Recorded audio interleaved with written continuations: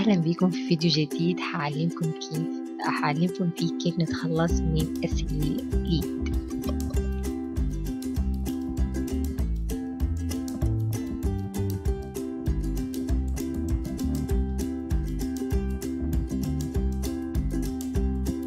أول خطوة هنعملها عشان نتخلص من السليوليت هي التقشير الجاف معروف إنه التقشير الجاف بيساعد على تنشيط الدورة الليمفاوية بالجسم وبالتالي بيساعد الجلد على التخلص من السموم يعني بيعمل ديتوكس للجلد.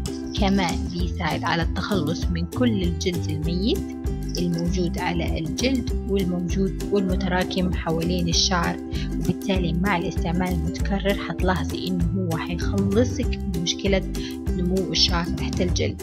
كمان بيشيل كل الزيوت والأوساخ والأتربة المتراكمة بالمسامات. وكمان بيدي طاقة للجسم.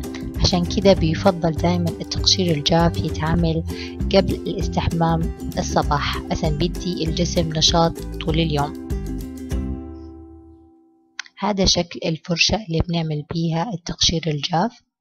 عبارة عن شعيرات شعيرات ما بتكون ناعمة جدا بتكون لحد ما نوعا ما كذا خشنة. بنمررها في على الجسم من الجسم يعني من نقطة على اتجاه القلب. يعني لو انت شغالة على الرجلين من تحت على اتجاه القلب. ومن اليدين كمان على اتجاه القلب. ولو نحن شغالين في الرقبة من فوق على تحت يعني كله على اتجاه القلب. لو عندكم حساسية أو لو بشرتك حساسة أو ملتهبة أو عندك إكزيما أو أساسا أنت حامل يفضل استشارة الطبيب قبل إنك أنت تبدي بالتقشير الجاف.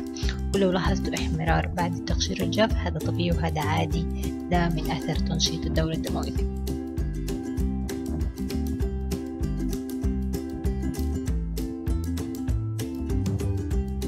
الخطوة الثانية هي استخدام مقشر القهوة coffee scrub.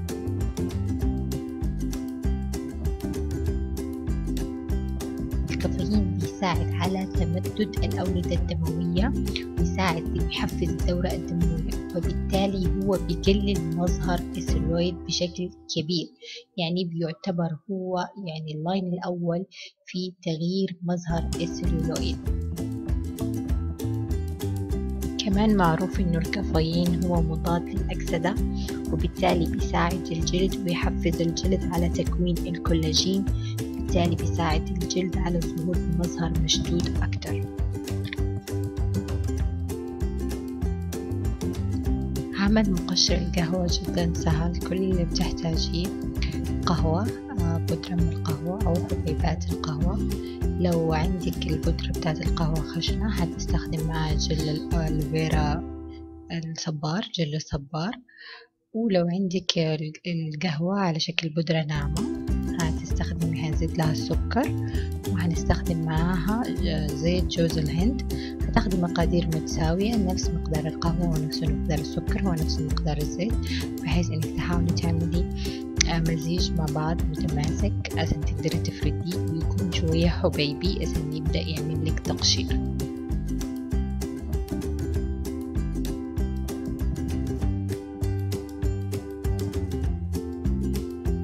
حاجة بعد مرحلة التقشير. بعد ما بقت المسامات مفتوحة والجلد مستعد إنه هو يستقبل المرطبات والمواد المفيدة هنبدأ نعمل الترطيب ونغذي البشرة ونرطبها بالمواد المغذية المفيدة ومضادات الأكسدة. دي كلها هتساعدها على إنه على إنها تنتج الكولاجين وإنها تظهر بمظهر مشدود وبيخلي عمرها الافتراضي أكتر يعني بيطول في شباب الجلد.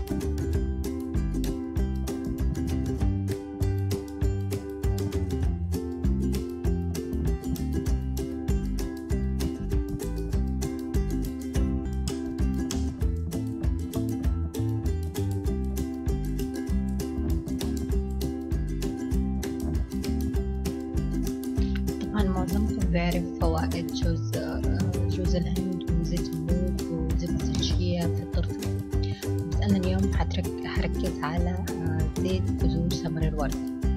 زيت بذور سمر الورد هو مركب عالي عالي الترطيب غني بالأحماض الدهنية غني بمضادات الأكسدة فيتامين E وفيتامين C على آه، شد البشرة هو قابض للمسامات بيعمل على شد للجلد وكمان بيعمل تفتيح للجلد. هنضيف مقدار متساوي منهم كلهم.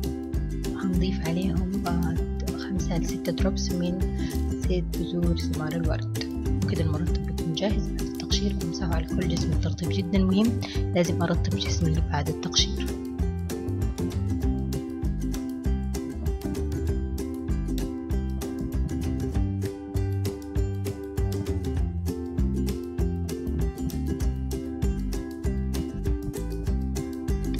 كلنا طبعا بنعاني من السيلوليد ولو جربتوا هذه الأفكار حتلاحظوا يعني فرق كبير في إنه مظهر السيلوليد بيخف تماما معاكم. لو استمريتوا على هذه الخطوات هذه خطوات جدا مفيدة لجلدكم مفيدة جدا لشباب الجلد حقكم. أتمنى إنكم تجربوها. أتمنى إنكم تعملوا لي like للفيديو تعملوا subscribe وتعملوا لي share للفيديو أشوفكم مرة جاية في فيديو جديد وفي أمان الله.